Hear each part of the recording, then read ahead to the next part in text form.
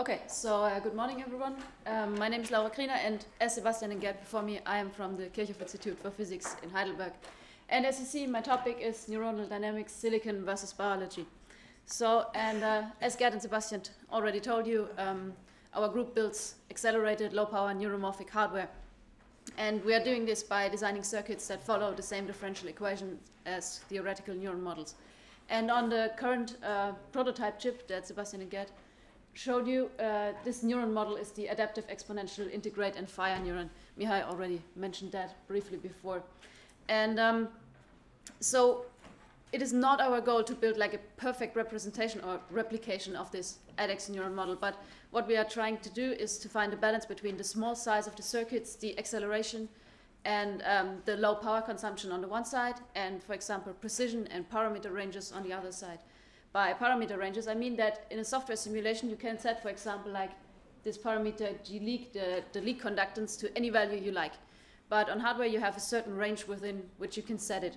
Um, so that's basically where I work. I, um, we are trying to verify that although we have these constraints, constraints due to the small size and the acceleration, um, this, the key features of the implemented models are still captured. And um, what you need to do is you need to verify that during the uh, production process or the design of the chip, because if the chip is fabricated and then not, you notice later that uh, you're missing something of the model, then it's too late. You have to wait for a new chip. So what we are doing is we are using transistor level simulations of the neuron. That means every transistor in the neuron is simulated in detail um, using the data which is provided by the manufacturer. And um, I have an example of these transistor level simulations of the neural circuit. Um, in the prototype which we were building before, there was a leaky integrate and fire neuron. And now we extended it to the adaptive exponential uh, integrate and fire neuron. And these firing patterns you see here, that um, occur, they occur if you stimulate an ADEX neuron with a constant current. And they cannot occur if you just only have a, a LIF neuron. So uh, we use them as a test to basically show that the adaptation and exponential terms work in our new circuits. And what you see here on the right is uh, the transistor level simulations of the new, new circuits. And you see that they are not identical to the uh, patterns you see on the left, but you see that the general traits or general characteristics of the patterns are there. For example, like in this pattern, you have short bursts of spikes, then you have a long pause, and then you have another burst of spikes again. And this is also clearly visible here. So um, what you also should note that here on this side you have biological voltages and biological times. And on the right side um, you have hardware voltages and hardware times. So the uh, voltage is scaled and the, and the time is a thousand times faster.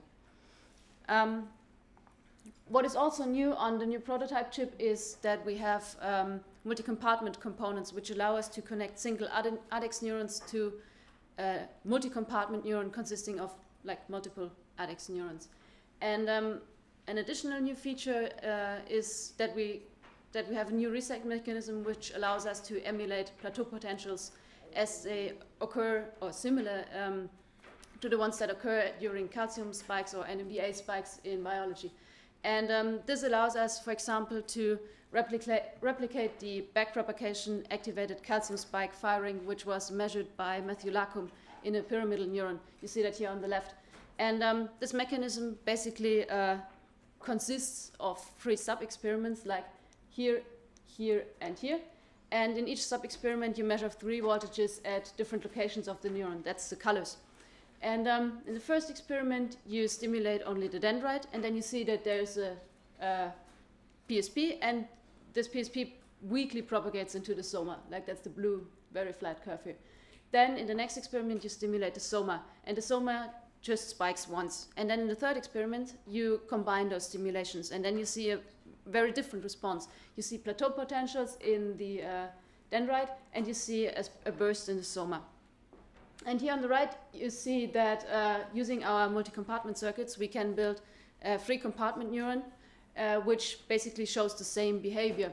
Mm, here's the first experiment where only the uh, where you only see the PSP and the dendrite. In the second experiment, you see the single spike of the uh, soma, and in the third spike you see this strong nonlinear, nonlinear response with the uh, plateau potential and the uh, spike in the, and the burst, spike burst in the soma.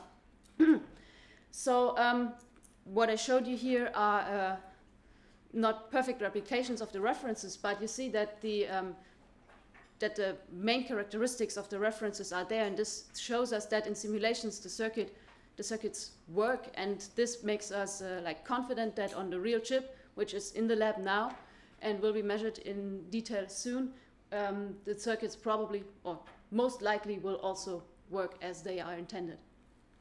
So um, if you want to go into details uh, looking at these multi-compartment circuits or the plateau potentials and on transistor level simulations of the neuron for verification purposes, please come and visit my poster.